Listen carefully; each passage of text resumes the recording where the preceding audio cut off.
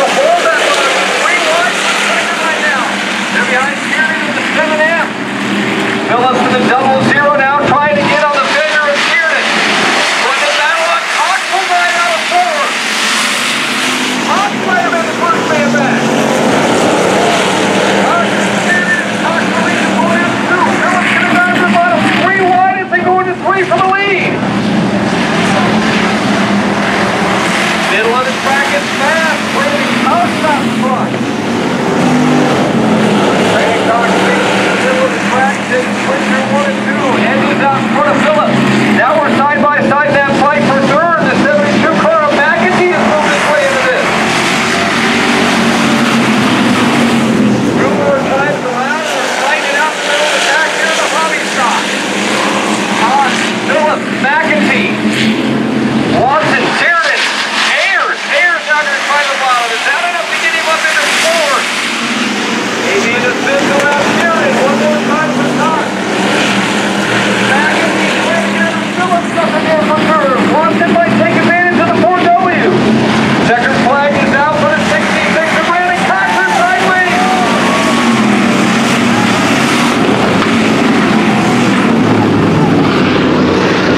Watson able to avoid near disaster with some good braking.